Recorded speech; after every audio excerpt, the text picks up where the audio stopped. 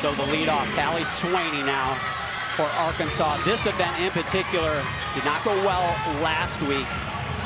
They didn't panic. They aren't panicking, but they're going to try to level it out here today. Yeah, really good opportunity for them to reset, like head coach Jordyn Wieber says. She didn't want to overthink it. One bad bar day doesn't mean anything.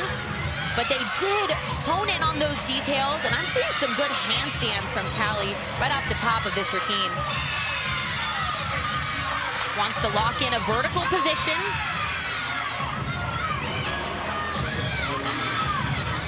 Opens double layout, clean dismount, not a stuck landing, but great job minimizing those deductions on the mat.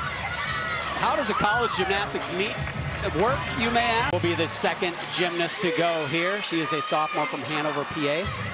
And if you are just joining us, welcome. If you're on the SEC network, we are just at the beginning of this Arkansas Razorbacks Florida Gator dual meet. This is the second gymnast to go for the Razorbacks here in the first rotation. Yeah, and she caught a little close to that release move last weekend. Fixes it right here. So already an improvement. Great to see those aggressive cast handstands. That's what the judges want to see.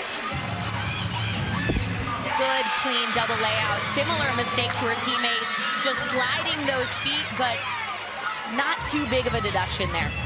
I watched them warm up that vault. Now Reese Drotar follows Jamie Pratt's 9825. So a pair of 9825s for the Razorbacks.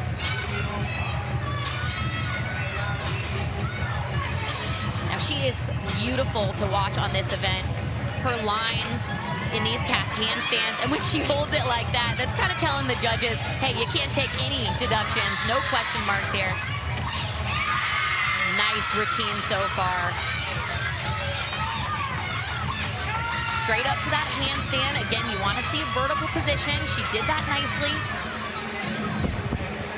And just a little trouble on the dismount there, but everything that we're seeing from this Arkansas bar team looks great on these handstands and on the... So Jensen Scalzo was the first athlete you saw with that air. Here she is trying to get some redemption this week in an important moment following Reese Drotar's 9.85. You can see bottom right, the score is now very even so far halfway through this rotation. Here's where the mistake came last weekend. This is called a Jaeger release move. Perfectly done. Great distance away from the bar.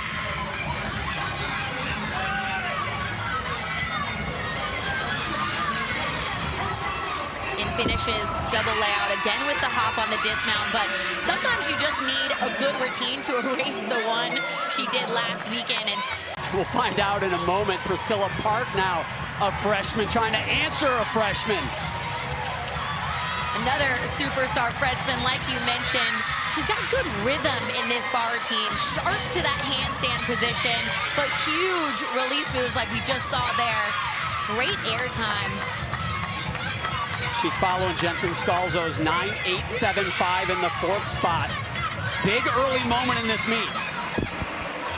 And a step forward. They haven't had one stuck landing for Arkansas, but what I'm noticing is those handstands have been really sharp